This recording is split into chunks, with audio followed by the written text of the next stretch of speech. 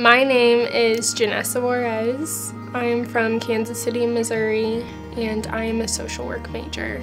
I did not grow up in a Christian home. My parents struggled with addiction the summer before my third grade year. I was playing outside in the front yard when a colorful church bus pulled up in front of my house and the bus driver asked me if I wanted to go to church. I started going to church. That was really the first time that I had learned about the love of Jesus. A family paid my way to go to church camp that summer. There is where I fell on my face before the Lord and gave my life to Jesus.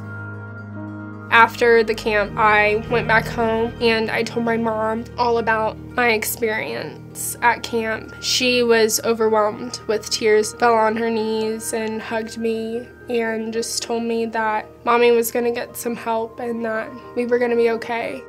That was really the road that we started as a family pursuing Christ. Today, she is almost 13 years sober and she's my best friend.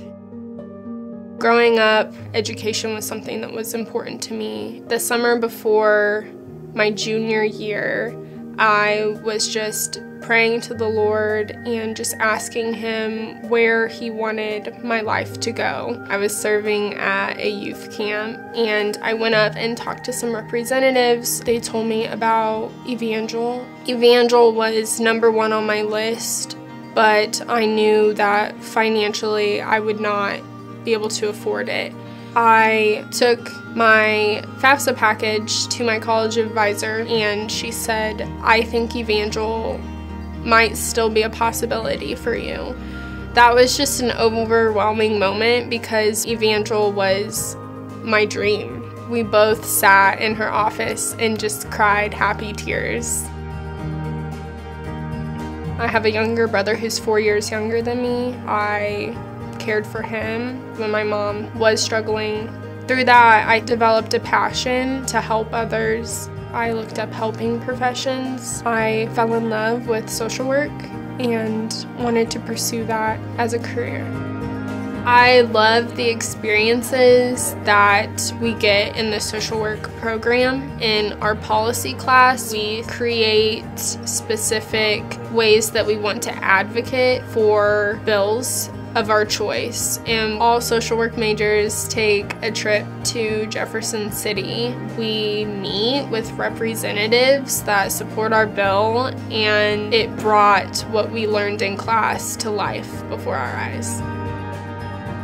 My relationship with Christ has definitely grown. I will always remember when I was sitting in a chapel and just became so overwhelmed by the Lord's presence, I just started to have flashbacks of my story.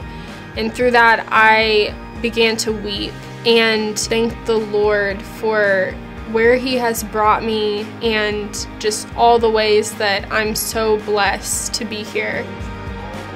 Within social work, I believe I'm interested in working with addictions um, particularly women in addiction, whatever it looks like and wherever I'm placed.